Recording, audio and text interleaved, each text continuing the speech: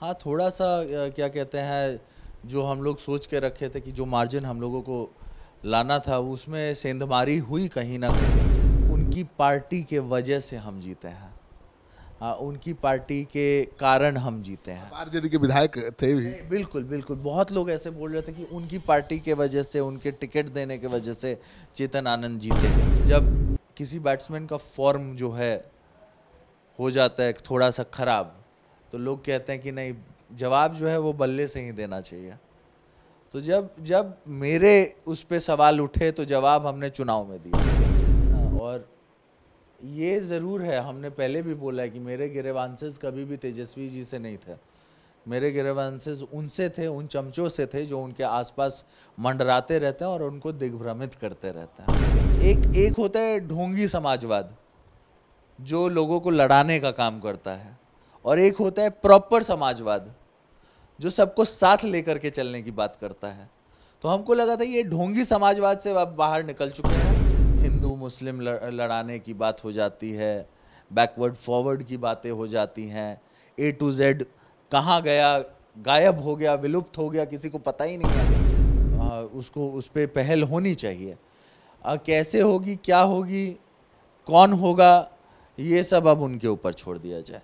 जगह मिलनी चाहिए। जगह मिलनी चाहिए। पनोरमा ग्रुप जो सोचता है वो करता है। आपके अपने सपनों का आशियाना। तो मेरे साथ है विधायक चेतन आनंद। अब तो लोकसभा चुनाव के बाद विधानसभा चुनाव की ही तैयारी है और लोकसभा चुनाव में भी काफ़ी अहम भूमिका इन्होंने निभाई थी क्योंकि इनकी माता लवली आनंद शिवहर से चुनाव लड़ रही थी। अब तो आपका मेहनत सफल हो गया आपकी माता सांसद बन गई हैं। कितनी बड़ी चुनौती थी बहुत दिनों के बाद एनडीए से आप चुनाव लड़ रहे देखिए चुनाव होता है तो चुनौती तो होती है ऐसा कोई आ, मतलब स्वाभाविक होता है ये तो। आ, लेकिन हम ये ज़रूर कहेंगे कि डे वन से ही अब मार्जिन बचाने की लड़ाई हो गई थी। हाँ और मार्जिन जो है हम लोग आ, हम लोग बचाते बचाते बचा लिए। ये ज़रूर था कि हम लोग को ये हम लोग सुनिश्चित थे, आप भी क्षेत्र में आए, आप भी क्षेत्र में भ्रमण किए थे। ये सुनिश्चित था कि जीत तो पक्की है। हाँ थोड़ा सा क्या कहते हैं, जो हम लोग सोच के रखे थे कि जो मार्जिन हम लोगों को लाना था, उसमें सेंधमारी हुई कहीं ना कहीं। और उसका थोड़ा सा हम लोगों को जो है मार्जिन में घटौती भी दिखाई दिया। लेकिन जीत सुनिश्चित थी। और साथ ही साथ हम ये कहेंगे कि आपको याद होगा कि ये मेरे लिए भी दुगुना चैलेंज इसीलिए भी था क्योंकि बहुत सारे लोग बहुत सारे ऐसे लोग बोल रहे थे कि उनकी पार्टी के वजह से हम जीते हैं। हाँ, उनकी पार्टी के कारण हम जीते हैं। आरजेडी के विधायक थे भी। बिल्कुल बिल्कुल। बहुत लोग ऐसे बोल रहे थे कि उनकी पार्टी के वजह से उनके टिकट देने के वजह से चेतन आनंद जीते हैं। लेकिन और हमको ये प्रूव भी करना था कहीं ना कहीं हमारे मन में ये था कि देखिए, क्योंकि 20 साल से शिवहर के सरजमीन पर शिवहर विधानसभा में आरजेडी ने अपना परचम नहीं लहराया था। उन्हें आनंद परिवार की ज़रूरत पड़ी थी शिवहर को ही नहीं, बल्कि साइड के बेलसंड को भी जीतने के लिए। और दोनों सीट जो है शिवहर के के जो, उसमें आता है, डिस्ट्रिक्ट में आता है, वो निकल करके आया था, क्योंकि हम लोगों ने जो है संजय गुप्ता जी को बेलसंड से दिलवाया था और खुद हम जो है शिवहर से लड़े थे। और इस बार जो है चुनाव ने ये प्रूव कर दिया कि चेतन आनंद जब लड़े थे हम जब लड़े थे तो 73,000 वोट हमको प्राप्त हुए। और जब लवली आनंद जी लड़ी तो हमको 83,000 वोट प्राप्त हुए। तो ये दिखाता है कि आनंद फैक्टर जो है आनंद मोहन जी वाला जो फैक्टर है वो शिवहर में बहुत काम कर वो बहुत काम करता है। और हमको किसी को अब जवाब देने की ज़रूरत नहीं है। जवाब चुनाव आता है। देखिए, बात ये होती है कि हम लोग सुनते आए हैं कि जब किसी बैट्समैन का फॉर्म जो है, हो जाता है थोड़ा सा ख़राब तो लोग कहते हैं कि नहीं, जवाब जो है वो बल्ले से ही देना चाहिए। तो जब जब मेरे उस पर सवाल उठे तो जवाब हमने चुनाव में दिया। आरजेडी ने अभी तक तो आपके खिलाफ कोई कार्रवाई नहीं की है, विधायकी के खिलाफ? देखिए हमको उतना हम डीप उसमें जा भी नहीं रहा कि क्या करेंगे नहीं करेंगे। अगर वो सोचना होता तो उस दिन हम सोच रहे होते जिस दिन हमने जो है अ, अपना पाला चेंज किया। हमने देखा कि बिहार के हित में क्या है। उसी दिन सोच लिए होते कि भाई ये कार्रवाई हो सकती है मेंबरशिप जा सकता है क्या हो सकता है क्या नहीं हो सकता इस सब की परवाह हमको कभी न थी न रहेगी। तेजस्वी यादव ने तो ऐसा कुछ किया नहीं क्यों? राजपूत वोटरों का डर सता रहा है, क्या है? नहीं, ये तो आप उनसे पूछिए, ये मेरा सवाल तो है नहीं कि क्या किया, क्यों नहीं किया। मनोज झा तो बहुत बड़ी बड़ी बात बोल रहे थे, ऐसा करेंगे, वैसा करेंगे, है ना? और ये ज़रूर है, हमने पहले भी बोला है कि मेरे गिरेवांसेस कभी भी तेजस्वी जी से नहीं थे। मेरे गिरेवांसेस उनसे थे, उन चमचों से थे जो उनके आसपास मंडराते रहते हैं और उनको दिग्भ्रमित करते रहते हैं। तो वो गिरेवांसेस थे और रहेंगे। नीट परीक्षा में एक बड़ा मामला सामने आया है। तेजस्वी यादव के आप्त सचिव के रिश्तेदार, उसका मास्टरमाइंड निकला है। और जेडीयू ने आज सवाल भी उठाया है कि भाई तेजस्वी यादव सफ़ाई दें, जवाब दें कि आपके, आप सचिव का रिश्तेदार नीट का मास्टरमाइंड क्यों है?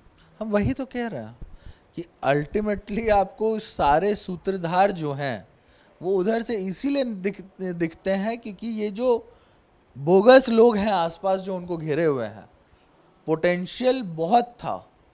ये हमको कहने में कोई वो नहीं है, कोई गुरेज नहीं है, लेकिन पोटेंशियल जो है, वो आसपास के लोग जो हैं, जो उधर लॉबी बना रखे हैं, नेता को उस उस अपने चंगुल से बाहर नहीं निकलने देते हैं, गड़बड़ी वहाँ पर है। और अभी जो नीट वाला भी परीक्षा ये मेरी बातों को सिद्ध करता है। ये ये बताता है कि हम सही बोल रहे हैं। और ये आप किसी भी बड़े लीडर से पूछिएगा जो पार्टी में हैं किसी भी बड़े लीडर से। लेकिन शर्त ये होना चाहिए कि कैमरा पे मत पूछिएगा क्योंकि कैमरा पे वो लोग नहीं बताएँगे। तेजस्वी यादव गलत लोगों से घिरे हैं आपका कहना बिल्कुल गलत लोगों से घिरे हुए हैं। पार्टी में सीनियर लीडरों को जो है आ, मान सम्मान नहीं मिल रहा है। हाँ पार्टी में जो है ए टू जेड का फॉर्मूला जो है वो बोकस बन के रह गया है। है ना? आज के डेट में ये पार्टी जो है आपको एम वाई के उस पर भी नहीं फॉर्मूला पे भी नहीं बैठ रही है। क्योंकि आज आप देख लीजिए मुस्लिम भी नाराज़ हैं। तो ये ये जो गिरावट आई है ये उन लोगों के वजह से आई है जो उनको घेर करके बैठे तेजस्वी यादव को तो नहीं लगता है कि बिहार के फ्यूचर के सीएम हैं? नहीं अगर हम क्या कह रहे हैं हम ये कह रहे हैं कि पोटेंशियल बहुत था। इस बात को समझिए पोटेंशियल बहुत था, लेकिन उस पोटेंशियल को अगर किसी ने हैम्पर किया तो उनके आसपास के लोगों ने किया है। जो लगातार, इस चुनाव में भी आपने देखा कि ठाकुरों के ऊपर गलत बयानबाजी की गई। उससे पहले वाले चुनाव में दो बीस वाले चुनाव में आपको याद होगा, बाबू साहब पीछे और आगे और कौन कौन सब, सी बात उठाई गई थी। तो ये स्पीच कौन तैयार कर रहा है? ये उनके लिए लिख कौन रहा है? है ना? उन, उनके उनके उसमें जहन में ये बातें कौन डाल रहा है? और फिर वही व्यक्ति जो जहन में बातें डाल रहा है, वो राज्यसभा में जाकर के ठाकुर का कुआँ एपिसोड करवाता है। तो ये पूरा जो है कांड, आप मान के चलिए कि एक व्यक्ति की वजह से पूरा गड़बड़ा रहा है, पूरा मैटर गड़बड़ा रहा है। और अगर ये लोग एक एक नहीं, बल्कि दो तीन व्यक्ति हैं हाँ दो तीन व्यक्तियों की वजह से ये मैटर गड़बड़ा रहा है। और उन दो तीन लोगों को जब तक ये लोग साइड नहीं करेंगे तब तक इनका पोटेंशियल जो है वो क्वेश्चन मार्क में है। लोकसभा चुनाव जीतने के बाद आपको लग रहा है कि आपका फैसला सही था आरजेडी के छोड़ने का नीतीश कुमार की सरकार को बचाने का? देखिए मेरा फैसला बिहार के हित में था। और सबको याद है कि 2005 से पहले क्या था बिहार और 2005 के बाद क्या आज हम लोग किधर कितना सांस ले पा रहे हैं इस बिहार बिहार में? हम लोग को बाहर जा कर के पढ़ाई करना पड़ा 2005 से पहले। क्यों? क्योंकि सेफ्टी रीज़न और बहुत सारे ऐसे रीजंस थे। जो बिहार को जंगल राज बोला जाता था तो ऐसे नहीं बोला जाता था, उसके पीछे कारण था। और 2005 के बाद जो सुधार होना शुरू हुआ तो अब कंटिन्यूसली सुधार होते जा रहे हैं। और जब तक हमारे गार्जियन नीतीश कुमार जी बिहार के जो सीएम है वो रहेंगे हमको ये लगता है कि बिहार प्रगति ही करेगा। तो आप जिस जंगल राज की चर्चा कर रहे हैं कि आपको बाहर जाके पढ़ाई करनी पड़ी उसी जंगल राज के नेता के साथ तो आप भी गए ना भाई? चुनाव जीते लड़े। नहीं तो आप ये बताइए ना कि हमको तो लगा था कि पोटेंशियल है। हमको ये लगा था कि तेजस्वी जी अलग हैं। हाँ हमको ये लगा था। हमको लगा था ए टू जेड की बातें हो रही हैं तो मतलब इसके पीछे कोई कारण होगा। हाँ हमको लगा था कि बदलाव आ गया है उस पूरे पार्टी में, उस पूरे सिस्टम में, जो एक एक होता है ढोंगी समाजवाद, जो लोगों को लड़ाने का काम करता है, और एक होता है प्रॉपर समाजवाद, जो सबको साथ लेकर के चलने की बात करता है। तो हमको लगा था ये ढोंगी समाजवाद से अब बाहर निकल चुके हैं अब प्रॉपर समाजवाद की ओर जा रहे हैं। और हम समाजवादी विचारधारा के लोग हैं, हमारा पढ़ाई भी वेलम बॉय स्कूल जैसे बड़े स्कूल से हुआ है। तो हम लोगों को तो हम लोग के तो जहन में समाजवाद है। तो हम लोगों ने सोचा कि ये जो अब बदलाव आ रहा है, तेजस्वी जी शायद कोई बदलाव करेंगे, कहीं नई दिशा में ले जाएँगे, लेकिन आज के डेट में देखिए वहीं पर बात अटक जाती है। हिंदू मुस्लिम लड़ाने की बात हो जाती है बैकवर्ड फॉरवर्ड की बातें हो जाती हैं ए टू जेड कहाँ गया, गायब हो गया, विलुप्त हो गया, किसी को पता ही नहीं है। आज की डेट में देखिए, वापस वही स्क्वायर वन पे आ गए हैं। लोकसभा चुनाव में आप आपने आपके पिता ने, आपकी माता ने सबसे बड़ा चुनाव का मुद्दा बनाया था, माता सीता का मंदिर। और चुनाव में उसका असर भी दिखा। पूरे मिथिलांचल में लोकसभा की सीटें जीत गई एनडीए। तो अब अब भी मुद्दा है कि अब भूल गए नहीं नहीं मुद्दा क्यों नहीं? वो तो रहेगा ही। और आपको याद होगा कि ये मुद्दा तब से उठाया गया है जब आनंद मोहन जी जेल से बाहर निकले थे। और उन्होंने पहले ही बोला था कि हम जो है माता सीता का जो है मंदिर का निर्माण कैसे होगा उस मुहिम में सिया राम का नारा लगाया था उन्होंने। हाँ जय सिया राम का नारा भी लगाया गया था। आ, तो वो जो है, वो उसी टाइम से हम लोगों का मुद्दा रहा। हम लोग को ये परवाह नहीं थी कि हम किसके साथ हैं, कौन क्या है, किसकी मैंटेलिटी कैसी है, कौन क्या करेगा, नहीं करेगा। है ना? हमारी एक मैंटेलिटी सीधा थी कि ये मिथिलांचल के लिए ज़रूरी है। और एक तरीके से अगर एक भव्य मंदिर अयोध्या में बन सकता है राम जी का तो सीता मैया का भी मंदिर बनना बहुत ज़रूरी है। ये हम हम लोगों का, का जो है थिंकिंग था।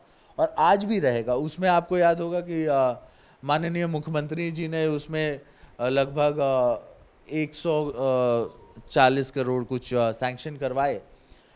लेकिन हमारा ये थिंकिंग मतलब हम ये सोचते हैं कि 140 से शुरुआत हो सकती है लेकिन उसको जगह पे पहुँचने के लिए केंद्र को जो है आना पड़ेगा, सहयोग करना पड़ेगा और इसके लिए हम लोग माननीय प्रधानमंत्री जी से भी मिलने का काम करेंगे। हमने तो पूरा प्लान बना रखा है कि नहीं होगा तो वहाँ से जो है पुनौरा धाम का मिट्टी का कलश बना करके जो है, हम लोग प्रधानमंत्री जी को भेंट करेंगे और उनको कहेंगे कि ये जो काम है, इसको आप कीजिए।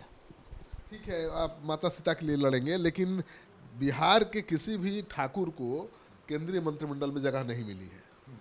नहीं देखिए ये तो आ, ये समीक्षा होनी चाहिए इस पर हाँ इस पर आप आप सही बात बोल रहे हैं। हाँ और किसी ना किसी को तो जगह देना चाहिए था। जब इतने इतने सारी सीटें जीत करके कोई जाता है तो उधर एक समाज की मांग रहती है। हाँ उम्मीद रहती है। आ, तो उसको जो है उसको उस पर पहल होनी चाहिए। कैसे होगी क्या होगी कौन होगा ये सब अब उनके ऊपर छोड़ दिया जाए। जगह मिलनी चाहिए। जगह मिलनी चाहिए। सुन रहे थे चेतन आनंद को जो कह रहे हैं कि ठाकुर समाज ने भी लोकसभा चुनाव में एनडीए का दिल खुलकर साथ दिया है इसलिए मंत्रिमंडल में ठाकुर समाज को भी जगह मिलनी चाहिए।